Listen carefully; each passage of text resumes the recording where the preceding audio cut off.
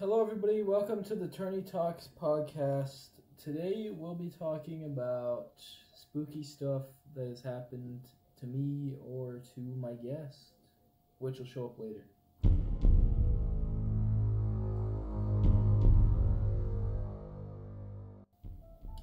So, this isn't really a spooky thing, but I just want to talk about it because when I was little, no one ever believed me.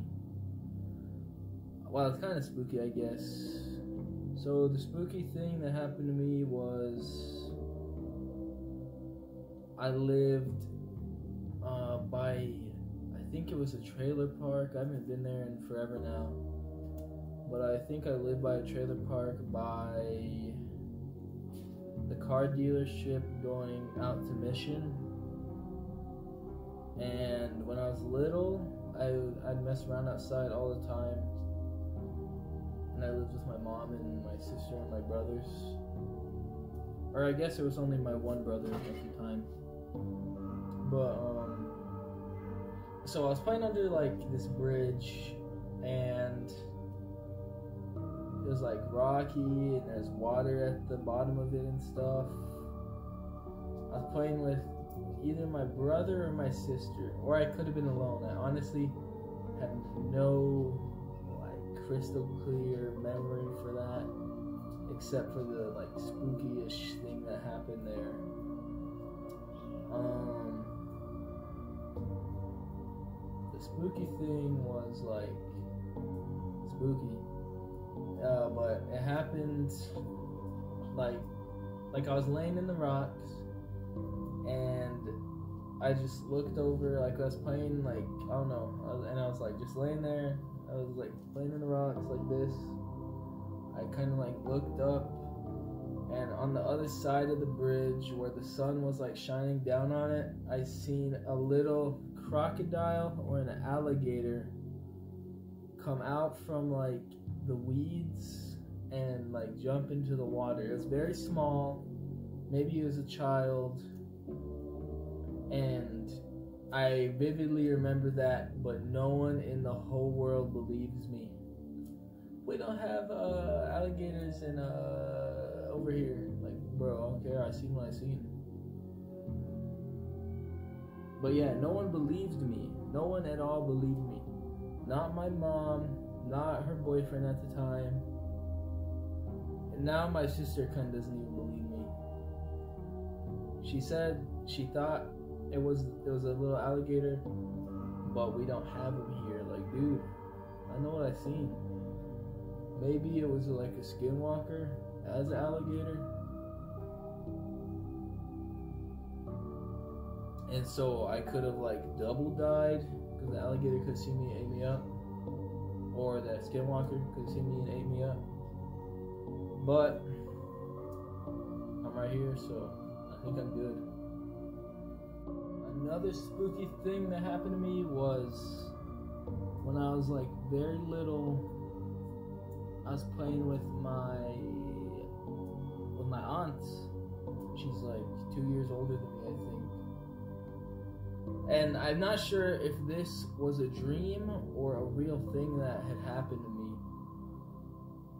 Cause like I think about it and I'm like sure that it was real, but when I really think about it, I'm the only one that ever like brings it up or thinks about it. So maybe it was just all in my head. Maybe I'm insane. Maybe I belong in an asylum, an Arkham Asylum from Batman. But oh, um, but basically, me and my aunt were playing, like just doing the kid stuff, like playing with this like with this little like grid thing. It was like a blue little grid square, flat, one by one. Then we had little cubes. This little toy plastic cage. We were playing with that. Very small. And then we were like just you know, just running around the living room and stuff, in the kitchen a little bit. And then we like like heard someone like whispering, like whispering. "You," Like I ain't gonna I ain't gonna try to do a voice. Like that's just cringe in front of the classroom. But anyway, uh, like we whispering is saying in my memory, I'm pretty sure it's saying something like "You are a girl," and I know it doesn't sound scary at all, but like I swear it was. Like I don't think it's that scary now. Like when I think back on it, it might have like been my uncle hiding somewhere, like whispering that. I don't think so because I don't think my uncle was around at the time. But you never know, you know. Uncles be like that. But that that whispering, like like I remember that. Whenever I think of a spooky story, that's like one of the first things that pops in my head. Um, and I'm not really sure if it's a dream or not, but I think it was real. I'm pretty sure it was real. I could just go ask my aunt. She lives like right outside my house in a little uh, little RV, but she might not remember. The cat just jumped on my back. Um. and it came the whispering came from from the laundry room so it and as a little kid I was like deathly afraid of the laundry room. It was always pitch dark it was always cold. And then that whispering like that that messed me up from going in there for a long time. So that was another spooky story. Another spooky story that happened in the room here was my uncle, again involving my uncles and my aunts this time. They were playing hide and seek, I think, and they were just playing. They were very small and tiny when they, when this happened. They told me. Saul told me told me this. Um. And anyway, my uh, cousins were playing and or not my cousins, my aunts and uncles were playing. They were like very little when they were doing this. They told me, or Saul told me. And in this house, in this current house that I live in right now, they're playing like hide and seek, I think, or tag maybe hide and seek tag. No, I think it's just hide and seek. And they were. Um, Wow, I'm kind of a bad storyteller right now because I don't remember all the details. I'll probably remember after. Maybe even while I'm sitting there in the classroom, having to listen to my own voice. But I remember that uh, he told me they're just playing around, messing around, being kids, playing hide and seek. Then they went into the room down the hallway at the end of the house on the right, which used to also be my grandma's room, and my grandpa or uncle Eric's room, and also his wife Melissa, and their son Eric. Got the whole tribe in here. Anyway, um, they're playing around and they went into that back room on the right. And so, I think it was Saul or Sam.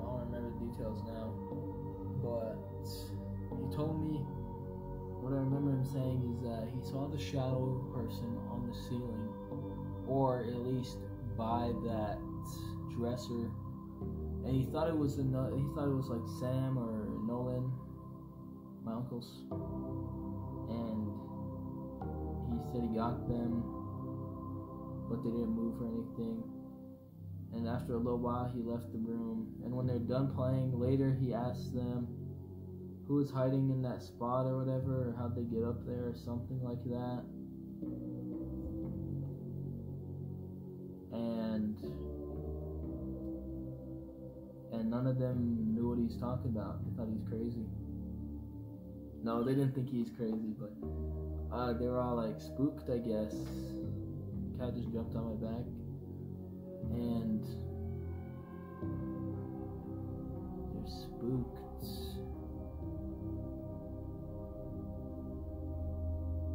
Pretty much like the story, I guess. I don't know. It's like I probably don't sound. They probably don't very sound very spooky to you, but like the way Saul would tell it, he'd like, creep you out, creep you out if you were like in person, probably.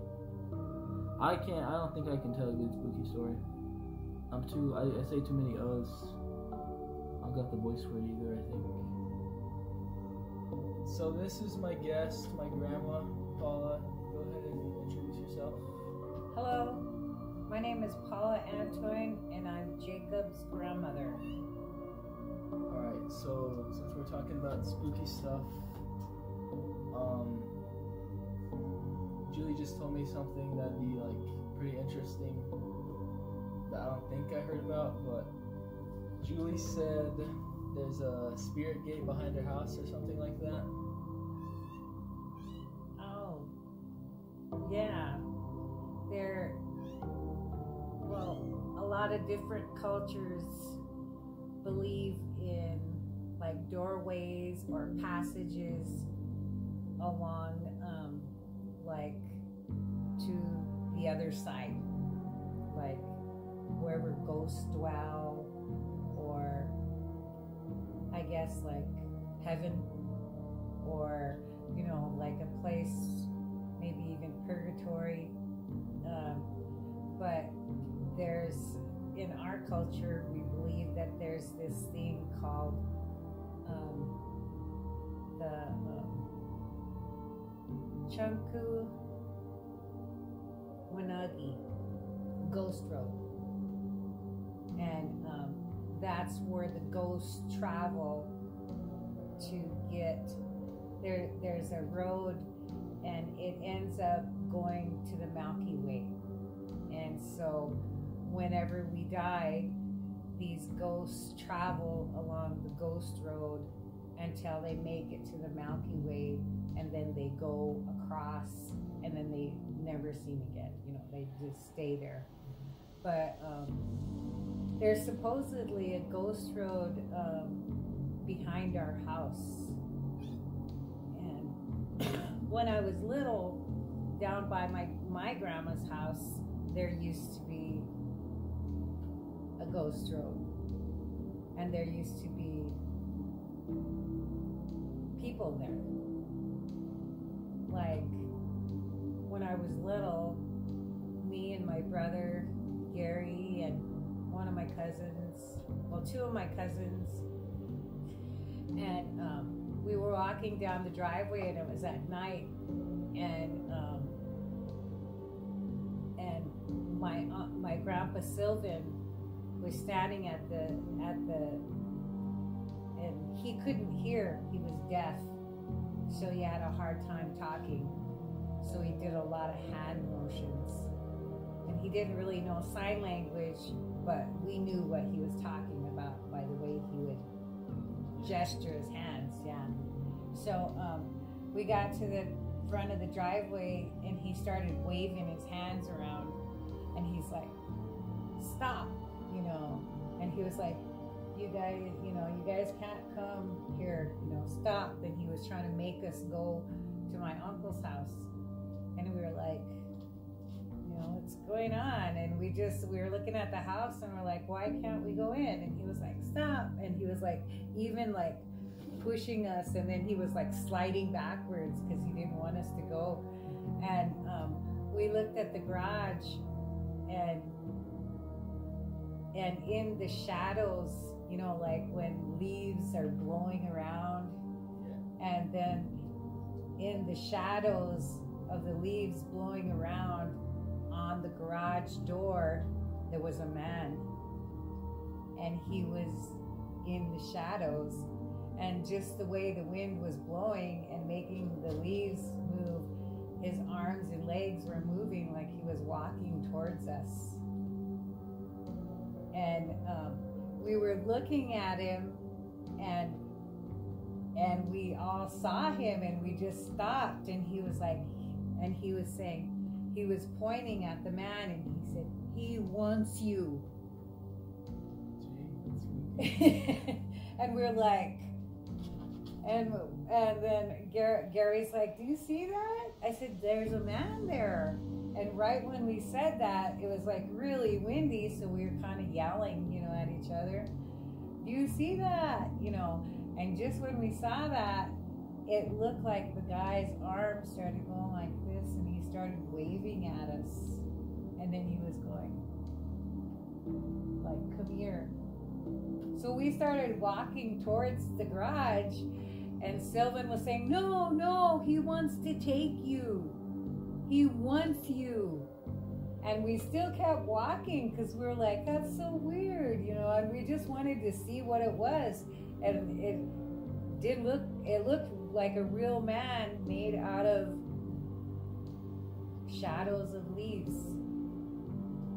And um, when we got up to the to the garage, even though we were standing in the way, he was still there. You know, like our shadows were there, but he was still there. And he had his hand up like this on the garage. So I put my hand on his hand just to see if it would move, and it didn't. It just kept you know, it just stayed up there. So I had my hand on his hand. And then Sylvan came and just knocked my hand off. And he said, Don't do that. He wants you. And then he was like really freaking out. And he was like pushing us away. And then he grabbed us all and dragged us in the house. But So we have a gateway like that behind our house right now. yeah, it's like, I don't know where it is. Like if it's right behind the house or way on the hills.